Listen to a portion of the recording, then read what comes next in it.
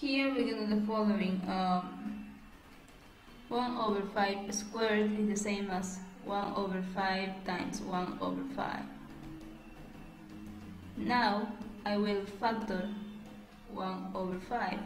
So we get 1 over 5 times 1 over 5 minus 1 over 4. Now, to solve this one, we get that the least common denominator is 20. And here we have 4 minus 5.